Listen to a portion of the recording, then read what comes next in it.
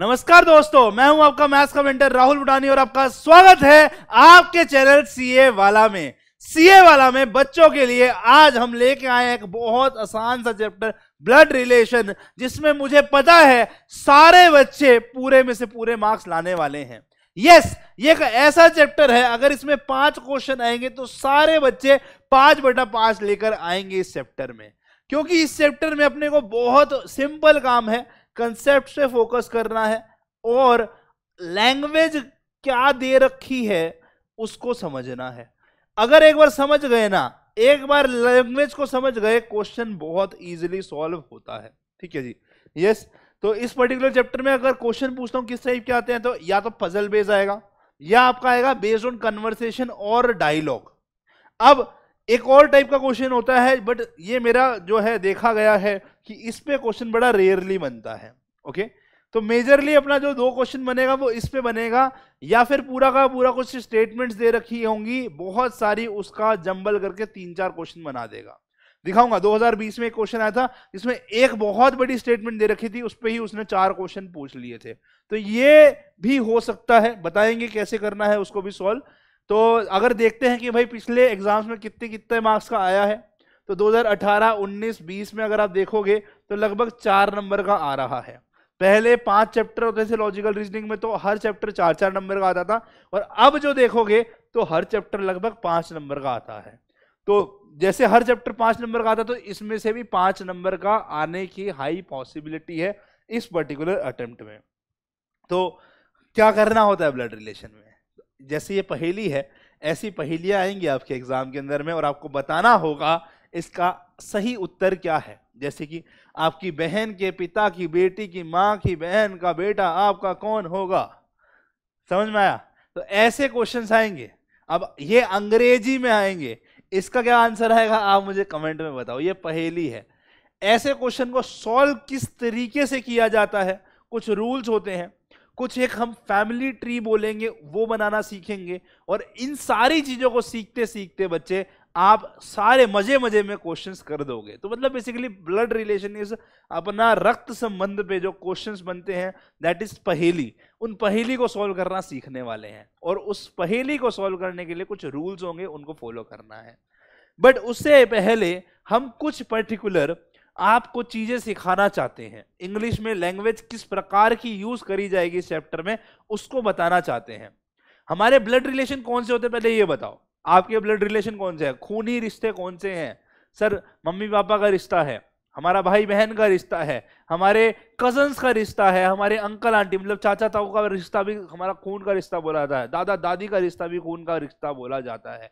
अब यहाँ आपके साथ साथ आपकी पीढ़ी भी आएगी। पीढ़ी बनाने के लिए आपका बेटा होगा, बेटी होगी बट उसके साथ कौन होगा? आपकी वाइफ होगी। तो वो रिश्ता भी खून का बोलाता है, आपकी वाइफ का भी। है ना? और अब वाइफ का जो पूरा परिवार है, वो वाइफ का परिवार भी यहाँ से जुड़ जाएगा। तो ये सारा रिश्ता जो है, यहाँ पर डिक्लेयर किया जाएगा, यहाँ पर डिस्कस किया जाएगा। और उस पर किस प्रकार की पहेली होगी, वो हम आपको बताएँगे। ठीक है? तो यहाँ पे ऑब्वियसली टीचर्स और स्टूडेंट का जो रिलेशन होता है, वो खून का रिश्ता नहीं है, वो दिल का रिश्ता है। यहाँ पे जो दोस्तों का रिलेशन होता है, वो खून का रिश्ता नहीं है, वो अपना दिल का रिश्ता है। तो यहाँ पे जो ब्लड लाइन से रिलेशन होगा, उसके बारे में बात करी जा रही है। ठीक है भाई? तो कुछ पर्टिकुलर तरीके से कैसे रिप्रेजेंट करते हैं, है ना, उसको देखते हैं। मदर मतलब माँ फादर मतलब पापा। अगर कोई पूछे आपसे मदर्स मदर मदर की मदर कौन है? या फिर फादर के फादर कौन है? फादर के फादर कौन है? आपके पापा के पापा कौन है? तो क्या बोलते हैं? सर, दादाजी है हमारे। और अंग्रेज़ी में क्या बोलते हैं? ग्रैंड फादर लिख लो। ये सारे चार्ट को भरना है। अब समझो। फादर के फादर ग्रैंड फादर है और फादर के, अगर मदर के फादर बोले तो मम्मी के पापा। फादर के फादर भी ग्रैंड फादर है और मम्मी के पापा। नाना जी वो इंग्लिश में बोले जाते हैं ग्रैंड फादर ही। पापा की साइड से होते हैं तो हम बोलते हैं, बेटा पैटर्नल ग्रैंडफादर अगर पापा की साइड से होते हैं लोग, ठीक है ना? और अगर मदर की साइड से होते हैं तो हम बोलते हैं मैटरनल ग्रैंडफादर मैटरनल ग्रैंडफादर बात समझ में आई? यस सर वेरी गुड ठीक है, अब उससे आगे आता है फादर्स मदर आपके पापा की मम्मी, आपकी कौन लगेगी? आपके रिस्पेक्ट में बात कर रहे हैं यहाँ पे, आपके पापा की मम्मी आपकी कौन लगेगी? आपकी दादी लगेगी, अंग्रेज़ी में बोलते हैं ग्रैंड मदर पापा की साइड से है तो पैटर्नल ग्रैंड मदर पापा की साइड से पैटर्नल वर्ड मम्मी के साइड से मैटरनल वर्ड ओके ठीक है? मम्मी की मम्मी की मम्मी कौन लगेगी? नानी जी। अंग्रेज़ी में वो हो जाएगी मैटरनल ग्रैंड मदर ये मेरे साथ साथ भर लो भाई। इस पूरी कक्षा में इन्हीं का यूज़ होने वाला है। अगर ये यहाँ पे गड़बड़ होगी। मुझे पता है अभी स्टार्टिंग में आपको लगेगा, सर, ये तो बहुत ईजी है, हमने बचपन में पढ़ा हुआ इतना क्या सिखा रहे हो? बट जैसे जैसे मैं आगे बढ़ूँगा, फिर वहाँ पे कंफ्यूजन आएगी। तो अभी बेसिक्स देखते जाओ, ठीक है? यस और बच्चे बस इस लैंग्वेज में ही कंफ्यूज होते हैं। तो मैंने बोला, यही सफाया कर देंगे। फिर उसके बाद क्या बचा क्वेश्चन में, है ना? फिर अगला, मदर और फादर्स ब्रदर, पापा के भाई, चाचा, ताऊ, कौन होंगे? फादर्स ब्रदर कौन है? आपके पापा के भाई कौन है? आपके चाचा ताऊ लगेंगे। अंग्रेज़ी में बोलते हैं अंकल। अगेन फादर की साइड से है तो पैटर्नल अंकल पैटर्नल वर्ड जोड़ देंगे पापा की साइड से। मम्मी के साइड से मामा। मामा कौन लगेंगे? अंग्रेज़ी के अंदर में बोलेंगे उनको भी अंकल ठीक है ना? मम्मी के साइड से तो वर्ड हमने मेटरनल जोड़ दिया। पापा के साइड से वर्ड पैटर्नल जोड़ दिया। बात सिंपल है। फादर सिस्टर बुआ जी कौन लगेंगी? आंट अंग्रेज़ी में आंट जो बोलते हो ना, आंटी, वो आंट होता है मतलब आपकी बुआ जी बोल रहा है, या फिर कोई कोई बोल रहा है, काकी बोलते हो, है ना? यस यही। मदर्स सिस्टर मम्मी की सिस्टर मौसी। मौसी कौन लगेगी? अंग्रेज़ी में आंट ही लगेगी बट मम्मी की साइड से है तो मेटरनल आंट तो ये वर्ड यूज़ नहीं होंगे बट समझाने के लिए है। एक क्वेश्चन के अंदर में पैटर्नल और मैटरनल बहुत रेयर चांसेस में आता है। आता है, मैं मना नहीं कर रहा बट रेयर चांसेस में इस वर्ड का यूज़ आएगा बट पता होना चाहिए। वाइफ फादर और हस्बैंड फादर आपके स्पाउस स्पाउस मतलब कि आपके पति या पत्नी को स्पाउस बोलते हैं, है ना? जैसे अगर आपकी शादी हो जाएगी तो आपका जो साथ वाला होगा, आपका जीवन साथी होगा, उसको स्पाउस बोलेंगे, ठीक है ना? जीवन साथी होगा स्पाउस बोलेंगे। तो अगर आपके, आप लड़के हैं, आप लड़के हैं, ठीक है? आपकी बीवी के पापा, आपके क्या लगेंगे? सर, ससुर जी। और अगर आप लड़की हैं तो आपके पति के पापा आपके क्या लगेंगे? वो भी ससुर जी। तो अंग्रेज़ी में क्या बोलते हैं उसको? फादर इन लो अंग्रेज़ी में क्या बोलते हैं उसको? फादर इन लो दोनों केस में। ठीक है ना? चाहे वो हस्बैंड फादर हो या वाइफ फादर हो, दोनों केस में इसको फादर इन लॉ ही बोलेंगे। ठीक है ना? Yes husband mother wife mother same तरीके से। सासू माँ क्या लगेंगी जी? आपकी मदर इन लॉ क्या लगेंगी जी? मदर इन लॉ लिख लीजिए इस बात को। ओके सन्स वाइफ बेटी, बेटे की बीवी। आपका बच्चा हुआ, शादी हो गई, बच्चा हुआ, बच्चा, लड़का जो है, उसकी बीवी, आपकी क्या लगेगी? डॉटर इन लॉ क्या लगेगी? डॉटर इन लॉ है ना? हिंदी में क्या होता है? हिंदी में क्या होता है? जल्दी से कमेंट में बताओ। आपके बेटी की बीवी, आपकी क्या लगेगी? हिंदी में बताओ। डॉटर इन लॉ को हिंदी में क्या बोलेंगे? डॉटर्स हस्बैंड आपके बेटे, बेटी का पति, है ना? क्या लगेगा? सर दामाद जी हंगना में पधारे। दामाद जी लगेंगे ना? इंग्लिश में बोलते हैं सन इन लॉ लड़का है तो सन और आपके, आपका डायरेक्ट खूनी रिश्ता नहीं है उससे आपका डायरेक्ट खूनी रिश्ता नहीं है। आपकी ब्लड लाइन का स्पाउज है वो तो इन लॉ आपकी ब्लड लाइन का मदर इन, मदर जो है ना, आपकी ब्लड लाइन का जो स्पाउस है, उसकी मदर और फादर साइड में तो इन लॉ वर्ड वहाँ से आ जाएगा। ठीक है ना? इन लॉ का मतलब क्या डायरेक्ट खूनी रिश्ता नहीं है, बट हाँ किसी ना किसी पति और पत्नी है, उसी के अंदर में उसकी मम्मी पापा है, उसी से रिलेशन है। ठीक है ना? मम्मी पापा, भाई बहन, उनसे रिलेशन है। यस हस्बैंड्स और वाइफ्स ब्रदर आपकी पति या पत्नी का भाई, कौन होगा आपका? सर, साला, साली होगा अगर आप लड़के हैं, लड़की हैं तो आपका जेठ जेठानी हो जाते हैं। यस ऐसे होता है ना? तो क्या कहलाता है उसको? देवर देवरानी हो जाते हैं। क्या बोलते हैं अंग्रेज़ी में उसको? ब्रदर इन लॉ हर एक के लिए एक ही वर्ड यूज़ होता है ब्रदर इन लॉ जेठ बोल लो, देवर बोल लो, साला बोल लो, कह रहे अंग्रेज़ी के अंदर में हम एक ही वर्ड बोलेंगे। नो डिस्क्रिमिनेशन हेयर हस्बैंड्स और वाइफ सिस्टर अगर आपके स्पाउस की बीवी मतलब स्पाउस है मतलब बीवी है उसकी बहन क्या कहलाएगी? सर ननंद कहलाएगी या साली कहलाएगी, है ना? तो क्या कहलाएगी? साली या ननंद कहलाएगी? अंग्रेज़ी में बोलते हैं उसको सिस्टर इन लॉ क्या बोलते हैं? सिस्टर इन लॉ इसको लिख लीजिए। ब्रदर और सिस्टर्स डॉटर भाई की बेटी।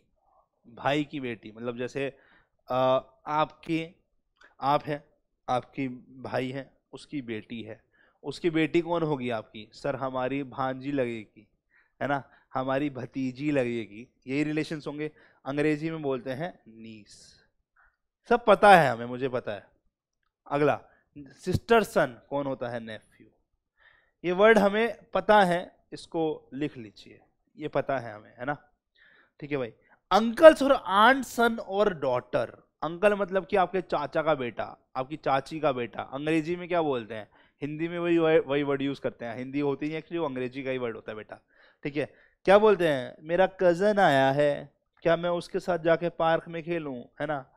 मेरे कजन्स आए हैं आज घर पे। हम पार्टी कर रहे हैं। यस सो कज़न मतलब कि चाचा ताऊ के बेटे। है ना? मामा, मामी के बेटे, मासा का बेटा। अब ये सारे रिलेशन जो हमने पढ़े ना बेटा अब ये सारे रिलेशन जब बहुत सारे एक साथ रिलेशन दे देंगे ना कि आपके चाचा के ताऊ का बेटा जो है, उसकी माँ, उसके पापा, उसके दादा का, नाना का जो बेचा होगा, वो आपका क्या लगेगा? तो आप बहुत कन्फ्यूज़ हो जाओगे। उस कन्फ्यूज़न को दूर करने के लिए हम एक चीज़ बनाएँगे जिसको बोलेंगे फैमिली ट्री जैसे मैंने आपको एक पहेली दी थी ना, वो पहेली में आपका दिमाग बोला कि यार क्या है ये? क्या बोलना चाह रहे हो? कहना क्या चाह रहे हो? ये दिमाग बोल रहा था। अगर इस दिमाग, इस पूरी पहेली को आप फटफट आंसर देना चाहते हो तो आपको बनाना पड़ेगा एक फैमिली ट्री इस पूरे चैप्टर में बस ये एक आर्ट है और आपको आज इस आर्ट का मास्टर बना देंगे। फैमिली ट्री कैसे बनाते हैं? आओ, सीखते हैं फैमिली ट्री के बारे में। चलिए फैमिली ट्री बनाने के लिए कुछ चीज़ों का ध्यान रखना है। पहली चीज़, कह रहे जब भी मेल होगा ना उसको, वहाँ पे जैसे नाम लिखा हुआ है कि एक नाम है, उसको शॉर्ट में लिख देंगे ए तो उस, ये लड़का मेल है, ये लड़का है, ठीक है ना? तो हम ऐसे प्लस साइन लगाएँगे। तो मेल के लिए प्लस साइन मान लो एक ए लड़का है तो ए के ऊपर में प्लस साइन एक बी है, वो लड़की है तो बी के ऊपर में माइनस साइन जैसे आपको जेंडर पता चला ना जेंडर मेल है तो प्लस साइन फीमेल है तो माइनस साइन अगर एक जनरेशन का गैप है, जैसे आप यहाँ हैं, आपके पापा यहाँ हैं तो हमने कैसे जोड़ना है? उसको एक डंडे से जोड़ना है। एक डंडे से, ठीक है ना? एक डंडे से, ऐसे ऊपर नीचे के, है ना? सीधा वर्टिकल बार से जोड़ना है, ओके? अगर सेम जनरेशन के हैं, जैसे आप हैं और आपका ब्रदर है तो उसको हम ऐसे हॉरिजॉन्टल डंडे से जोड़ेंगे, हॉरिजॉन्टल डंडे से, याद रखेंगे, ठीक है? बट सर, हमारी जनरेशन की तो हमारी वाइफ भी है। हम यहाँ हैं और हमारी वाइफ है। तो उसको हम क्या करें सर? कह रहे उसको अपन ऐसे डबल डंडे से जोड़ेंगे। डबल डंडे से। अब आप मान ले लड़के हैं क्योंकि आपकी वाइफ है ऑब्वियस सी बात है लड़के होंगे। नहीं सर दोनों लड़कियों की भी शादी होती है। मानता हूँ बेटा आजकल के टाइम में संविधान आज आने वाला है या आ चुका है आई डोंट नो बताना आया या नहीं आया। बट हाँ कुछ देशों में तो है अलाउड सो so, कर सकते हो कोई बात नहीं बट हम एक इस पूरे चैप्टर के अंदर में हम मानेंगे कि जो शादी हो रही है एक लड़का और एक लड़की की ही हो रही है। ठीक है भाई? एक लड़का और एक लड़की की ही हो रही है। हम यहाँ पर इस पूरे चैप्टर में ये मान के चलेंगे। याद रखिएगा इस बात को। ओके ठीक है? अब ये बात को याद रखेंगे तो ये हमने कुछ, हमने साइंस देखे हैं मेल के लिए प्लस फीमेल के लिए माइनस एक जनरेशन गैप आएगा तो उसको हम इस डंडे से जोड़ेंगे और इस, ऐसे आएगा तो हम एक सिंगल लाइन से और हस्बैंड वाइफ का आएगा तो हम उसको डबल डंडे से जोड़ेंगे। ठीक है भाई? क्लियर है? यस अगर क्लियर है तो आगे। Grandmother grandfather maternal grandfather maternal grandmother ये हमारे एक जनरेशन के लोग हैं है ना भाई? दादा दादी नाना नानी अगर हम बात करते हैं ग्रैंड मदर बोले दादा हो सकता है दादी हो सकती है। मेटरनल ग्रैंड फादर बोलते हैं मतलब नाना की बात स्पेसिफिकली कर रहा है है ना? मेटरनल ग्रैंड मतलब स्पेसिफिकली नानी की बात कर रहे हैं तो हम मान लेते हैं दादा दादी। तो ये एक जनरेशन के लोग हैं ना बोलते हैं ना ये एक, एक पीढ़ी के लोग हैं। तो जब भी एक जनरेशन होगी तो हम उसको मानेंगे कि ये एक लाइन में रख दिया हमने यस उसकी अगली जनरेशन कौन होएगी? उसकी अगली जनरेशन कौन है? उसके नीचे वाली पीढ़ी कौन होएगी? मम्मी पापा की पीढ़ी होएगी। मम्मी पापा में कौन आएगा? अंकल आएँगे आंट आएँगी इस मेटरनल अंकल मेटरनल आंट चाचा जी भी आ सकते हैं, मामा भी आ सकते हैं, है ना? मौसी भी आ सकती है। ग्रैंड और आपकी जनरेशन के लोग कौन है? आप खुद हैं।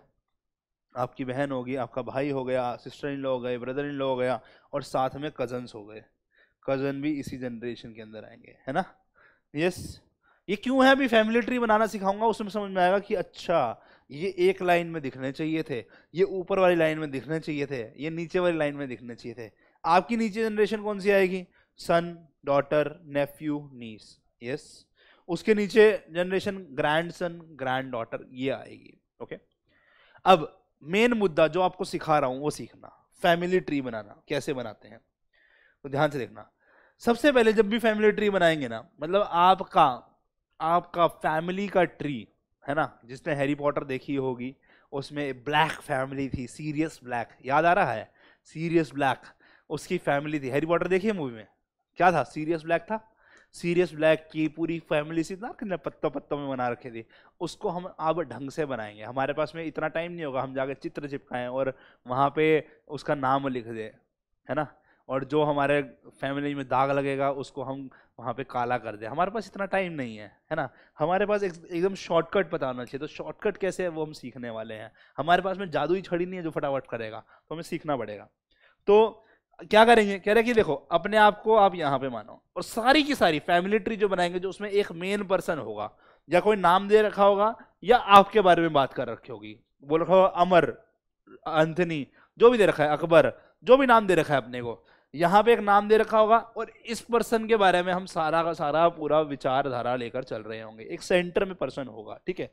यस इसके रिगार्डिंग में। तो अगर बोलते हैं ये पर्सन है, इसके फादर इससे ऊपर जनरेशन में आएँगे। मान लो एफ़ लिख दिए इसके फादर के बारे में, ठीक है? अब ये लड़का है, लड़की नहीं पता। बट इसके फादर है तो पक्की बात है, भाई वो लड़के होंगे। तो ऊपर में प्लस साइन लगा दिया, ठीक है? अब इनकी वाइफ होगी तो वो आपकी कौन है? मदर इनकी वाइफ नहीं लिखेंगे। आपकी क्या लग रही है, वो लिखेंगे।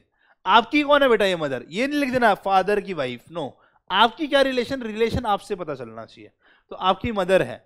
फादर और मदर का क्या रिलेशन है? हस्बैंड वाइफ का। जैसे ही हस्बैंड वाइफ आएगा तो हम उसको डबल डंडे से जोड़ेंगे। यस बताया था? ठीक है। आपकी बहन है तो आपकी सिस्टर हो गई यहाँ पर। तो ऐसे माइनस से आपका ब्रदर है। अच्छा मैं इधर में नहीं लिखूँगा, इधर में लिखना चाहता हूँ। अब आपका ब्रदर आपकी सिस्टर का भी ब्रदर होगा।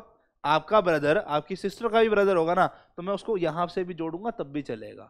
ऐसा नहीं कि मैं यहाँ पे ऐसे जोड़ दूँगा, नहीं लाइन स्ट्रेट होनी चाहिए, ठीक है? तो फैमिली ट्री में एक याद रखना, अगर मुझे एक लड़का, आपका आपका नाम है चुन्नू, आपकी बहन है मुन्नी, उसका भाई है मतलब और एक और भाई है मुन्नू तो चुन्नी, मुन्नू और मुन्ना, जो भी है लाइक दोनों सारे के सारे भाई हैं भाई बहन ही है ना तो वो एक लाइन में आ रहे हैं तो ये रिप्रेजेंट क्या कर रहा है? ये क्या रिप्रेजेंट कर रहा है कि ये आपका भी भाई है और आपकी बहन का भी भाई है, चलेगा। है ना?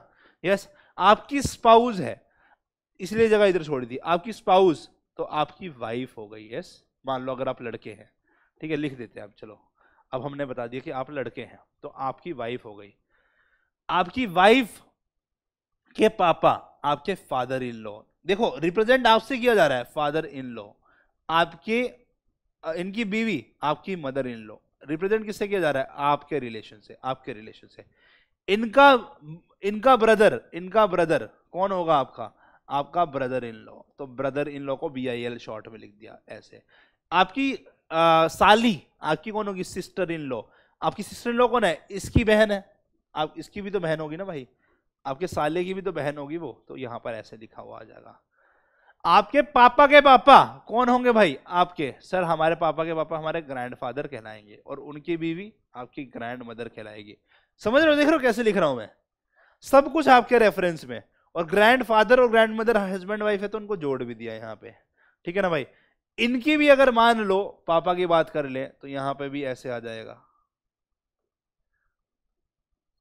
ठीक है? ये क्वेश्चन में आता नहीं है कभी। हाँ मदर क्या आ सकता है? या ये पैटर्नल चल रहा है? Yes this is paternal this is paternal ये तो वाइफ के साइड की है। ये तो वाइफ साइड में है। ये वाइफ साइड में ये आएगा नहीं कभी, इसको छोड़ भी सकते हो आप, ठीक है? ये आ सकता है, ये वाला, ठीक है? मदर का। तो मदर का भी इसी के साथ में आएगा, ठीक है ना? थोड़ा सा इसके लिए स्पेस बनाना पड़ेगा, अगर मुझे मदर का भी रिप्रेजेंट करना है। आई नीड स्पेस ठीक है? जान करके मैंने इतना दूर किया है रीज़न क्या है?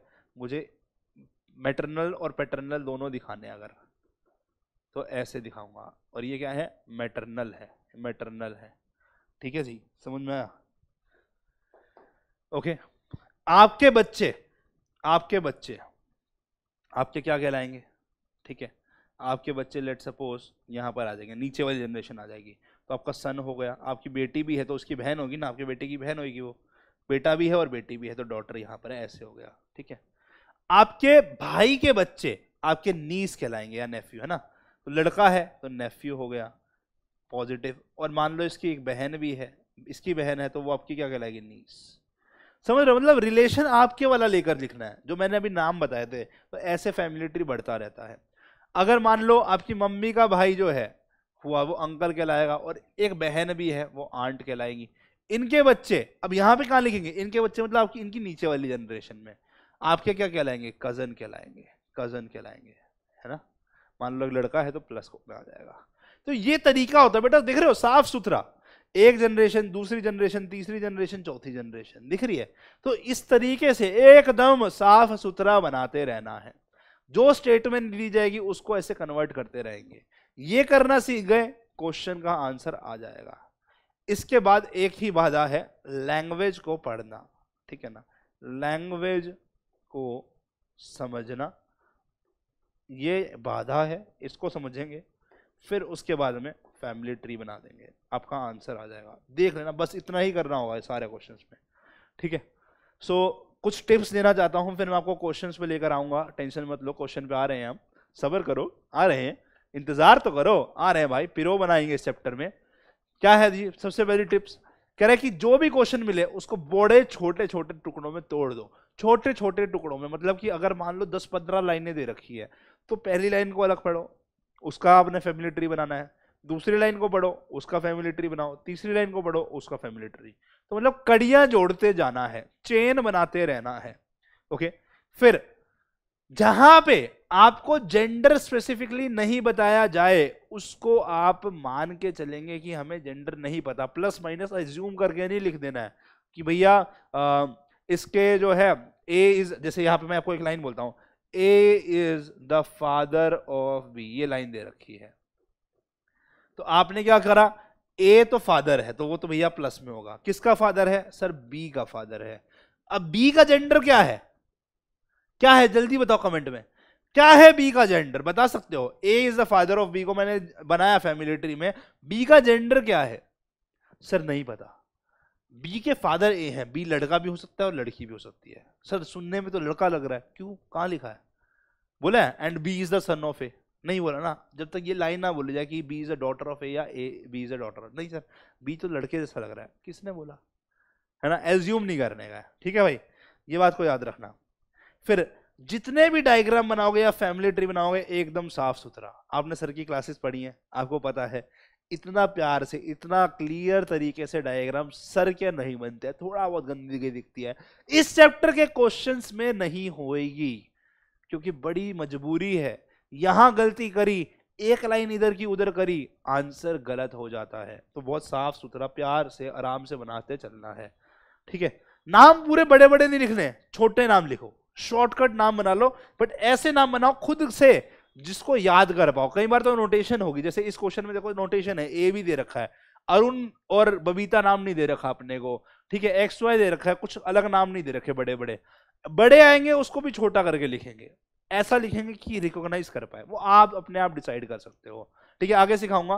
क्वेश्चन करना स्टार्ट करते थे। बड़े बचपन, मेरे को पता है बच्चों के दिल में ऐसा हो रहा है। सर क्वेश्चन कराओ यार, बहुत सीख लिया। अब इंप्लीमेंट करने की बारी आई है। चलो करते हैं।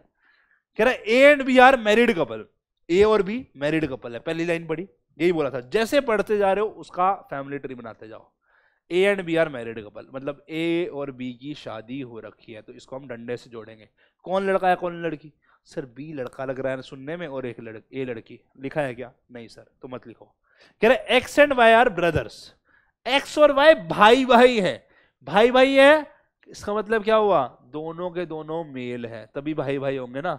है ना? ब्रदर्स लिखा है। ये नहीं लिखा X is a brother of Y ये Y is a brother of X नहीं X and Y are brothers X is the brother of A X जो है ए का भाई है। तो मतलब इसको इसके साथ जोड़ना है। मैंने उसको अलग क्यों लिखा था? क्योंकि मुझे इसकी कड़ी नहीं मिल रही थी। कड़ी अगली लाइन में है। है ना? तो जब तक कड़ी नहीं मिलेगी, उसको अलग से लिख दो। जैसे मैंने इसको लिखा, जैसे ही मिलेगी, उसको यहाँ पे लिख दो। साइन उसका लिखो जिसका लिखा हुआ है। ए का अभी भी जेंडर नहीं बता। ये बोला एक्स जो है वो ए का भाई है। तो एक्स अगर ए का भाई है वाई भी ए का भाई होगा ये भी क्लियर है। ठीक है? How is Y related to B Y B का क्या लगता है? वाई बी का क्या लगता है? बताओ। सर वाई जो है, वो लड़का है। ठीक है? और उसके स्पाउस का जो है कुछ रिलेशन है। चाहे वो लड़की हो, चाहे वो लड़का हो तो क्या होगा यहाँ पे? ब्रदर इन लॉ है ना? ये लड़का है ना भाई? ब्रदर इन लॉ यही अंग्रेज़ी का मज़ा है। अब हिंदी में होता है क्वेश्चन तो गलत हो जाता। क्योंकि सर, यहाँ पे हमारा साला भी हो सकता है, यहाँ पे हमारा जेठ भी हो सकता है, यहाँ पे हमारा देवर भी हो सकता है। बट अंग्रेज़ी में क्या होगा ब्रदर इन लॉ क्यों सर? क्योंकि हमें ना ए का जेंडर पता है, ना बी का। अगर ये पूछ लेता what is the relation of B to Y नहीं बता सकते थे। क्यों सर? क्योंकि बी का जेंडर नहीं पता। हो सकता है कि इसकी डॉटर इन लॉ है या इसका सॉरी इसका चाहे वो सिस्टर इन लॉ है ब्रदर इन लॉ है नहीं पता। बी का ए से वाई से रिलेशन नहीं पता पक्का। वो ब्रदर इन लॉ भी हो सकता है और सिस्टर इन लॉ भी हो सकता है। उसकी भाभी भी हो सकता है और उसका आ, क्या नाम है क्या बोलते हैं जीजा भी हो सकता है। कुछ नहीं पता। वाई तो पक्का साला या फिर वो होगा, जो अंग्रेज़ी में एक ही नाम से बोला जाता है that is brother in law तो बड़ी लैंग्वेज को ध्यान से पढ़ना है। रिलेशन जिसका बताना है, इसका बताना है ना रिलेशन इसका रिलेशन इसके साथ बताना है। तो जिसका बताना है, उसका जेंडर पता होना ज़रूरी है। ठीक है? किसका जेंडर पता होना ज़रूरी है? जिसका रिलेशन बताना है, उसका जेंडर तो वाई का रिलेशन पूछा है। रिलेशन किसका बताना है? वाई का। Y is related to B तो वाई का जेंडर पता है क्या? हाँ सर लड़का है। लड़का है और वो उसके स्पाउस से रिलेटेड है। तो क्या हो जाएगा? ब्रदर इन लॉ आंसर क्या आएगा? Brother in law nice question ठीक है? अगला। A B and C are sisters जो लिखा जा रहा है, लिखते, जो बोला जा रहा है, लिखते जाओ। ए बी सी सिस्टर्स है। तो तीनों लड़कियाँ हैं और तीनों एक जनरेशन में है। सही है? D is the brother of E and E is the daughter of B अच्छा अब देखो मैंने ये लाइन पूरी यहाँ तक पढ़ ली। डी ई का ब्रदर है और E is the daughter of B तो मैं दो तरीके से कर सकता हूँ। D is the brother of E और ई e जो है, वो डॉटर है बी की। तो बी की डॉटर कौन है? ई e है। समझ रहे हो? मैं चाहूँ तो इसको पहले लिख सकता हूँ, या फिर मैं अगर पूरी लाइन पढ़ रहा हूँ तो मैं देखता हूँ इन तीनों के साथ डायरेक्टली कोई कड़ी मिल रही है क्या? हाँ ई e मिल रही है। तो मैं डायरेक्टली पहले ये लिख दूँगा E is the daughter of B फिर मैं बोल रहा हूँ कि अब ये जो कड़ी ई है, इसको जोड़ ले। ये कर लो या वरना इसको साइड में पहले लिख लो। अब बोल रहा है कि D is the brother of E तो ये हो गया। How is C related to B C कैसे रिलेट कर रहा है बी से? सी कैसे रिलेट कर रहा है बी से? अब देखो, इस पूरे क्वेश्चन को अगर ध्यान से पढ़ोगे तो इस पूरी लाइन का कोई मतलब ही नहीं था। तो ये चीज़ का ध्यान रखना। सबसे पहला अटेम्प्ट जब भी क्वेश्चन पढ़ते हो ना, जब भी क्वेश्चन पढ़ते हो, याद रखना क्वेश्चन में पूछा क्या है, ये पढ़ो टाइम सेव होगा। लिख लो अपने एसएसएन में। In blood relation question whenever we have to start firstly read what is asked पूछा क्या गया? सबसे पहला काम ये कर रहा है how is C related to B तो मैं देखूँगा A B C flow chart बनाया अरे सी तो यहीं पे दिख गया सी बी की सिस्टर है। कहाँ जाऊँगा मैं आगे? ज़रूरत ही नहीं है। बोला ना A B C are sister तो अगले वाली लाइन का कोई यूज़ ही नहीं है। फैमिली चार्ट बना दिया, ठीक है अच्छा है। बट फालतू का टाइम वेस्ट किया ये बनाकर। यही आंसर आ गया था। How is C related to B पहली लाइन से दिख रहा है सी और बी सिस्टर है। क्लियर था, है ना भाई? तो क्वेश्चन बड़ा ध्यान से पढ़ना है। तो जहाँ पे भी हम ऐसे पढ़ लेते हैं how is D related to ये लिख लिया। जैसे मुझे डी और ई e दोनों दिखेगा और रिलेशन दिख पा रहा होगा, कर लेंगे। ठीक है, आगे। E is the son of A E जो है वो सन है ए का, लिख दिया। D is the son of B अच्छा अब ये ए और ई e का नहीं पता के साथ कोई रिलेशन नहीं है। डी बी का सन है। इसका इसका कोई अभी लिंक नहीं बताया। अलग से लिख दो। Is married to C E की शादी हो रखी है सी से तो ई अगर लड़का है तो सी को लड़की होना पड़ेगा, याद रखना है बात, ठीक है? C is B is daughter C कौन है? इसकी डॉटर है। अब आ गया ना लिंक सी इसकी डॉटर है तो सी बी की डॉटर है। और डी बी का सन है तो लॉजिकली दिख रहा है, सी अगर डॉटर है बी की और डी सन है बी का तो डी इसका भाई होना पड़ेगा, ठीक है ना? लॉजिक दिख रहा है ना तो ये लॉजिक अपने को कनेक्ट करते रहना है ये अपने को लॉजिक कनेक्ट करते रहना अब ये जैसे ही मैंने यहाँ पे किया इसको हटा सकता हूँ मैं ठीक है? Yes how is D related to C तो अब बन है देखो डी और सी पूरा साथ साथ अब आया हमारा क्या दिख रहा है? How is D related to C D is the brother of C D जो है वो सी का भाई है लड़का है और सी का भाई ए, एक लाइन से जुड़ा हुआ है ठीक है? So this is how family tree is drawn और इसका ये काम आता है। ओके अब, ये तो बेसिक क्वेश्चंस थे, जहाँ पे लैंग्वेज बड़ी कंफ्यूज नहीं कर रही है। मैंने बोला था आपको लैंग्वेज कंफ्यूज करती है। यहाँ तो दिखा लैंग्वेज कंफ्यूज कर ही नहीं है सीधा सीधा बोला हुआ है। लैंग्वेज कंफ्यूज कैसे करती है, सर? ये तो बताओ। तो उसके लिए कुछ वर्ड्स लेकर आओ आपको लिखा हुआ मिल गया only son of my grandfather क्या लिखा हुआ मिल गया भाई? Only son of my grandfather मेरे दादाजी का एक लौता बेटा है। तो आप यहाँ हैं। आपके ऊपर में कोई है, आपके पापा है, पता नहीं कौन है है ना? मतलब है, वो हो सकता है आपके पापा हैं, ये ही होंगे, मम्मी भी हो सकती है बट पापा ही बोला हुआ है। माई ग्रैंड फादर अगर बोल रहा है, ठीक है? ग्रैंड फादर बोल रहा है। और हम मान के चल रहे हैं पैटर्नल ग्रैंड फादर की बात कर रहे हैं। हम मान के चल रहे हैं, यहाँ पे पैटर्नल ग्रैंड फादर की बात कर रहे हैं, ठीक है? तो आपके दादाजी का इकलौता बेटा कौन होगा? अच्छा याद रखना, अगर आपको यहाँ पे क्वेश्चन में मेंशन जो कर रखा है नहीं बता रखा कि पैटर्नल ग्रैंडफादर है मैटरनल ग्रैंडफादर है। तो क्वेश्चन को ना उस तरीके से एज्यूम करना कि अगर वो पापा की साइड से बातें कर रहा है तो पापा। जैसे सन बोल दिया इसने तो मतलब पापा की साइड से बातें करने की कोशिश कर रहा है। जैसे बोला ना only son of my grandfather मेरे ग्रैंड फादर का इकलौता बेटा। कौन है भाई? यहाँ वाला इंसान। दैट इज़ योर फादर तो मतलब इनका कोई भाई नहीं है। इसका लाइन का मतलब क्या है? ये आपके कौन है? फादर है। और आपके फादर का कोई भाई नहीं है। No brother of your father इस लाइन का ये मतलब ये हो गया। ठीक है? है ना भाई? यही मतलब हो ना? ओनली सन ऑफ़ मतलब इनका एक लौता लड़का है और उनके आप बेटे हो।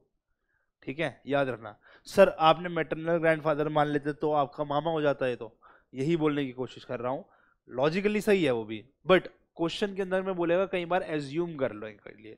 तो एज्यूम करना कि सबसे पहला, जो भी आपका ये रिलेशन दे रखा होगा ना, वो आपसे रिलेटेड डायरेक्ट होगा। तो डायरेक्ट रिलेशन जैसे फादर या मदर का होता है। अभी क्वेश्चन आएँगे तो बताऊँगा, ठीक है? बड़े कंफ्यूजन इस छोटी छोटी चीज़ों में होते हैं। मामा लॉजिकली ठीक है कि सर, अगर मान लो मदर होती तो आपके दादा का, नाना का इकलौता बेटा तो मामा भी हो सकता था। बट यहाँ पे ये चेन जोड़ने की बात करेगा। ठीक है? Yes only son of my grandmother only son of my grandmother same तरीके से आपके पापा हो जाएँगे। माँ, आपकी ग्रैंड मदर यहाँ है। इनका इकलौता बेटा आपका पापा है। ठीक है ना?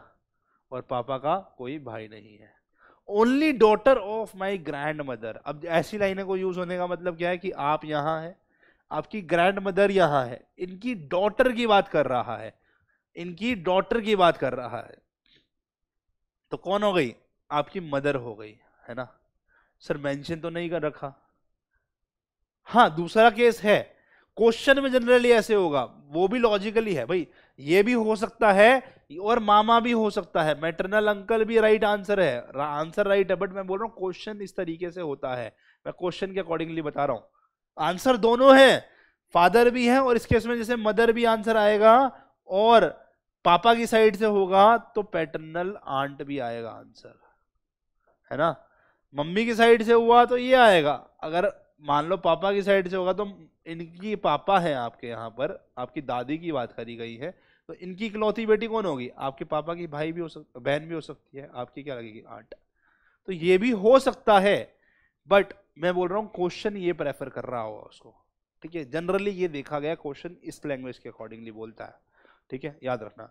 Only daughter of my grandfather same answer ठीक है? जैसे दादी का है, वैसे दादे का है। सिस्टर ऑफ़ माई मदर मेरी मम्मी की बहन, है ना? इसको ड्रॉ करना है अपने को, तब समझ में आएगा। मैं यहाँ हूँ, आप और क्या नाम है, आपकी मदर यहाँ है, और उनकी बहन यहाँ है। तो आपकी कौन है ये? आंट हुई ना? तो ऐसे करना है, ठीक है? Son daughter of my husband अब ये लाइन है, देखो कंफ्यूज करने वाली चीज़। डॉटर ऑफ़ माई हजबेंड मैं यहाँ हूँ। मान लो आप लड़की है तो आपके हस्बैंड यहाँ है। इनका बेटा आपका कौन लगेगा? इनका बेटा आपका कौन लगेगा? सर, मेरा भी तो बेटा लगेगा।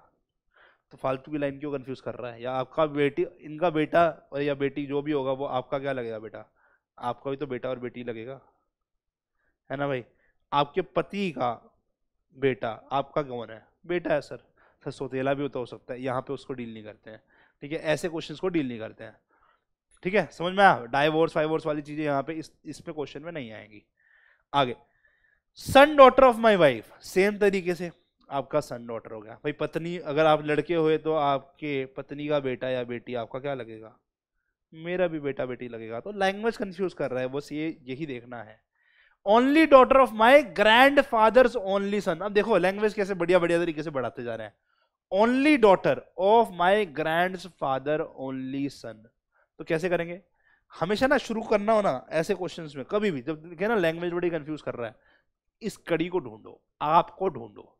मेरे ग्रैंड फादर मेरे ग्रैंड फादर यहाँ पे कोई है, मम्मा या पापा, और इनके ग्रैंड फादर ठीक है? ओनली सन है ओनली सन है। ग्रैंड फादर का ओनली सन कौन हुआ? ये इंसान हो सकता है, मान लो आपके फादर हुए ठीक है?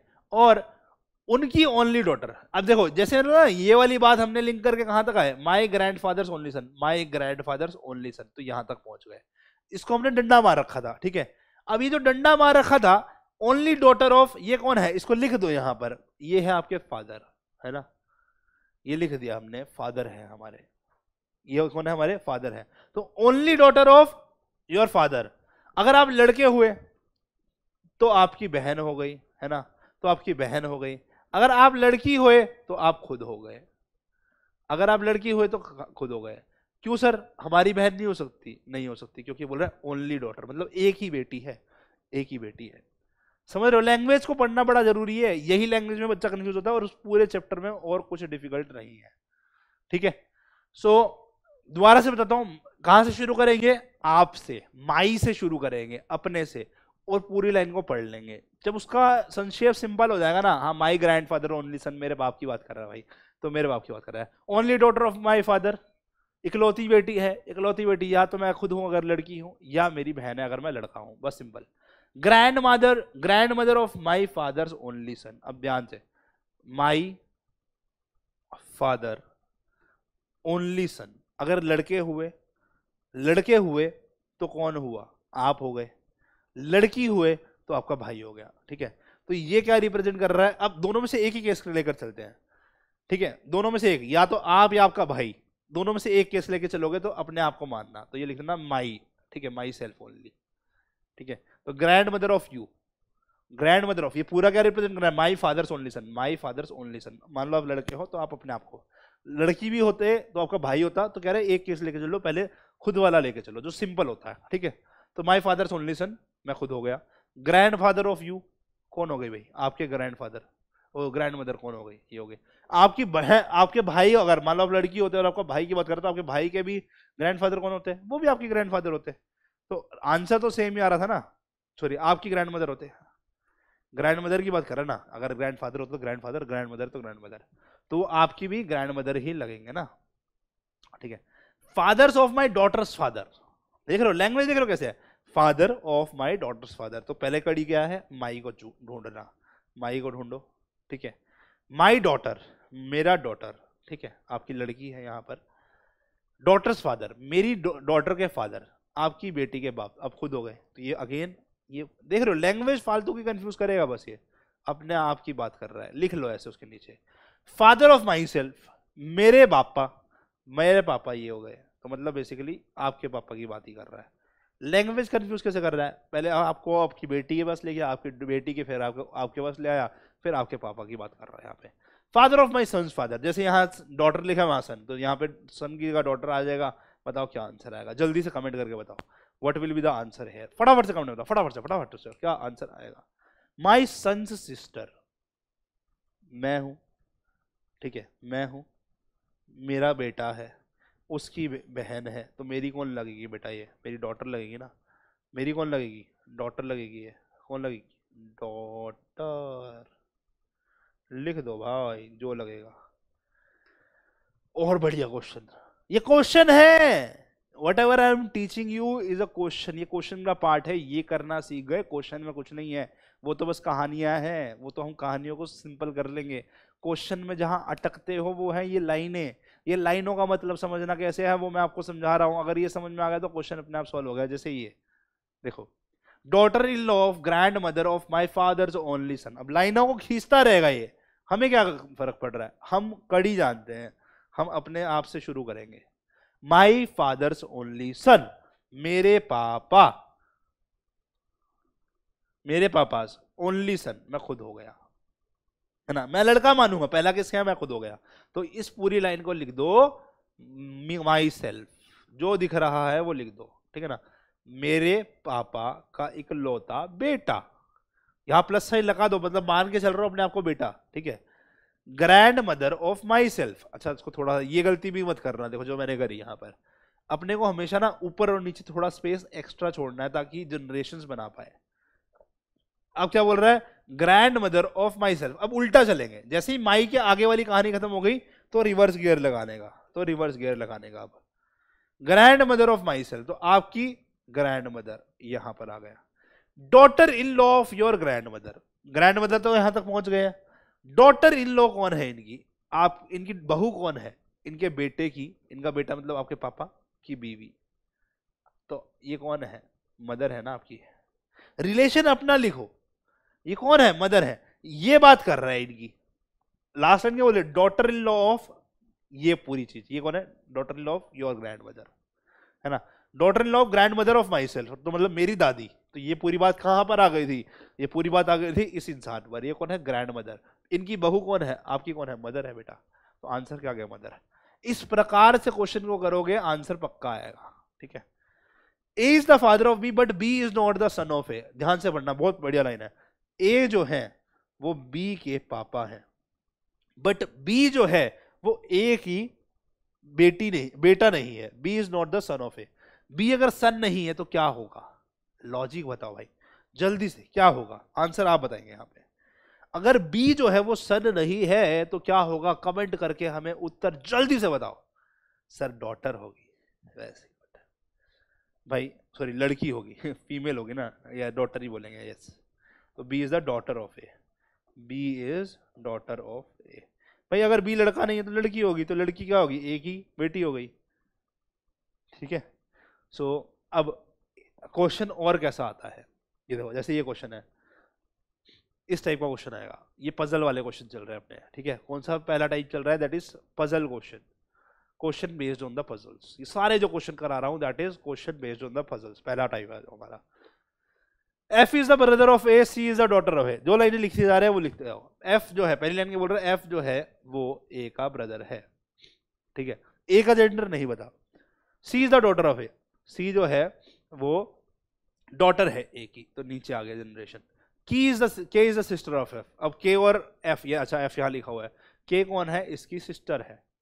G is the brother of C इसका ब्रदर कौन है? जी है। लिख दिया। Who is the uncle of G G का अंकल कौन है?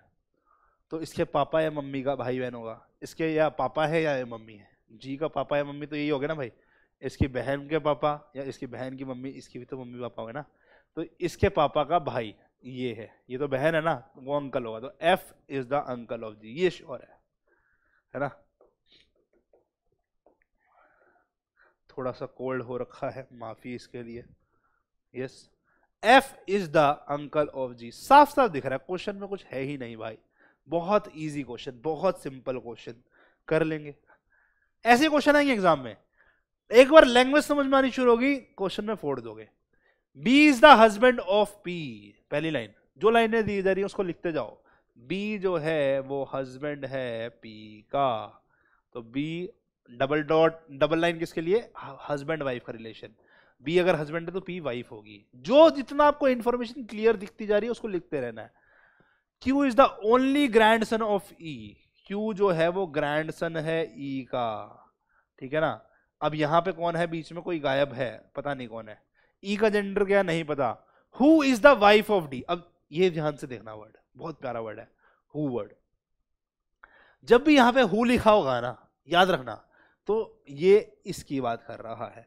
और अगर ये ज्वाइनिंग वर्ड एंड आ गया ना तो वो इसकी बात कर रहा है। अगर लिखा होता ना and is the wife of D तो क्यू की बात कर रहेगा ध्यान रखना एंड मतलब फ़र्स्ट पर्सन हु मतलब सेकेंड पर्सन रिप्रेजेंट कर रहा है। लिख लो अपने एस में। अगर लाइन खत्म होने के बाद में अगली लाइन शुरू कर रहा है हु से तो मतलब जो आखिरी वाला बंदा है उसके बारे में बात कर रहा है। अगर एंड से जोड़ रहा है तो पहले वाले लाइन बात कर रहा है। ठीक है ना? And is the wife of D मतलब वो क्यू की वाइफ हो जाती, क्यू वाइफ हो जाती डी की। अगर हु से जोड़ा है तो मतलब ई e जो है वो डी की वाइफ है।